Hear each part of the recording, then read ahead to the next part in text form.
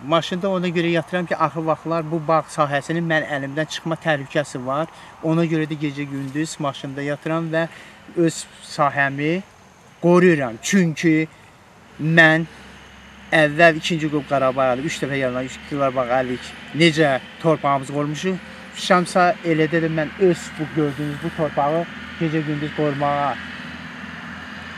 qoruyuram və öz haqlarımı uyğunda mübarizə aparıram.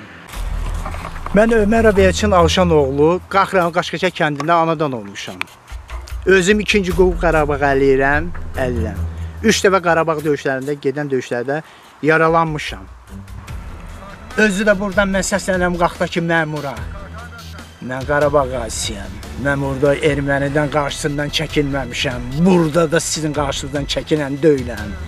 Mən bu torpağı heç kimə verən deyiləm. Ancaq burada mənim qanım, canım gedəndən sonra kimsə bu torpağı ala bilər məndən. Buradan prezidentə, baş prokurora, aidiyyəti orqanlara müraciət edirəm. Mənim işimi demirəm Qarabağ əlli kimi həll edin. Qanun, ədalət tələb edirəm. Mənim işimi nə, nəzarətə götürün, əks tədbirlə.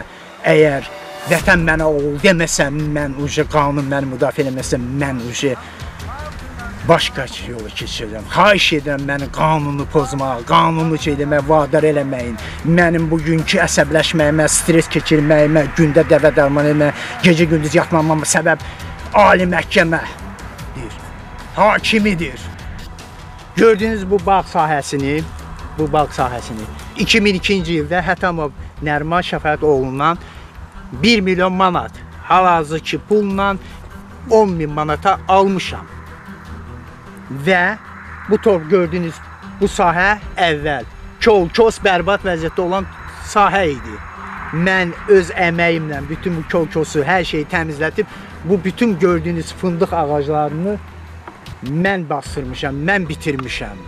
Və əvvəl bu gördüyünüz sahə kol-kos və o sahənin qırağından keçən yol bərbad vəziyyətdədir, heç bir nəqliyyat işləmirdi, heç şey işləmirdi. Heç bu sahələrin maraqlanan da yox idi. Sonradan bu fındıq ağacları böyüdü, bara girdi, yol çəkildi, hərəkət gücləndi və qarşı tərəfin uca bu torpağa tamaha artdı.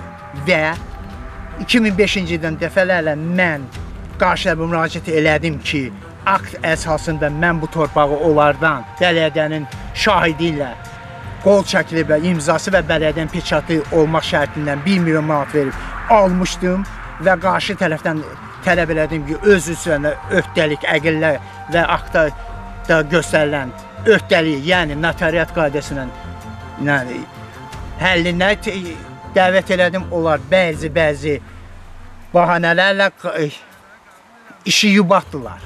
2017-ci ildə qarşı tərəf sırf gəlib mənə yerin qaytarmasını, yi peşman olduğunu mənə bildirdi.